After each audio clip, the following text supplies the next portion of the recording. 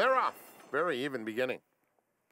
Sometimes Always is going straight to the front.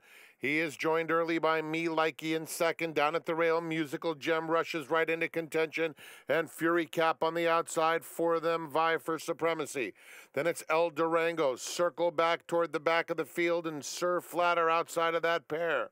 Into the far turn, Fury Kap takes the lead quickly puts almost a length on sometimes always in second. Then Me Likey moving up in third.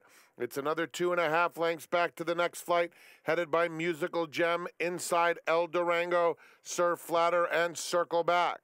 They have a quarter of a mile to go. Fury Kap's in front. Me Likey on the outside and at the rails, sometimes always not done. He's very game and fighting back. They're in the final furlong. Fury Kap, half length lead. At the rails, sometimes always in very tight, just steadied slightly. Four back to Me Likey in third. Coming to the 16th, and it's Fury Kap opening up late. And Fury Kap wins by a length and a half. Sometimes always second. Then it was Me Likey third, Musical Gem, and Sir Flatter completes the super high five. That's a triple for Flavien Prat.